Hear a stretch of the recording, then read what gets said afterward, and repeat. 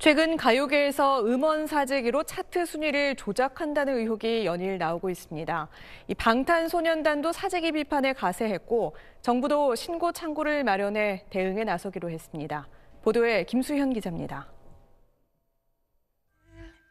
음원 사재기 의혹은 블락비 출신 가수 박경이 가수 6명의 실명을 공개 거론하면서 다시 촉발됐습니다. 지목된 가수들은 사실 무근이라며 법정 공방을 예고했습니다. 양측 공방과는 별개로 음원 사재기의 심각성은 모두 공감하는 분위기입니다. 기계로 어떻게 이기라는 말이냐 래퍼 마미손, 성시경 등에 이어 방탄소년단도 왜곡된 음악 시장 상황에 일침을 놨습니다. 어, 조금 더 어, 정직한 방법으로 어, 좋은 음악을 만드는 게 어떨까요?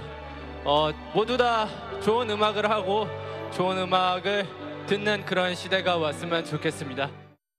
문화체육관광부는 지난 8월 콘텐츠 진흥원과 사재기 근절을 위한 신고 창구를 개설했습니다.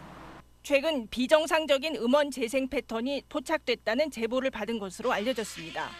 한 업자가 아이디 26개를 생성해 단시간에 만 회가량 음원을 재생했다는 정황으로 사실관계를 확인 중입니다. 음원 차트 순위가 매출뿐 아니라 방송 출연, 공연까지 좌우하는 상황이라 더 근본적인 대책이 필요하다는 지적도 있습니다. 실시간이기 때문에 일간이나 주간에 비해서는 상대적으로 조작해야 되는 데이터의 양이 네네. 적을 겁니다. 그렇기 네. 때문에 조작이 또 용이한 부분들도 있어서 그 실시간 차트를 뭐 일간이나 주간으로만 바꿔도 반복된 의혹 제기에도 실체가 밝혀지거나 처벌받은 적은 없었던 음원 사재기. 이번엔 실효성 있는 대책이 마련돼야 한다는 목소리가 커지고 있습니다. SBS 김수현입니다.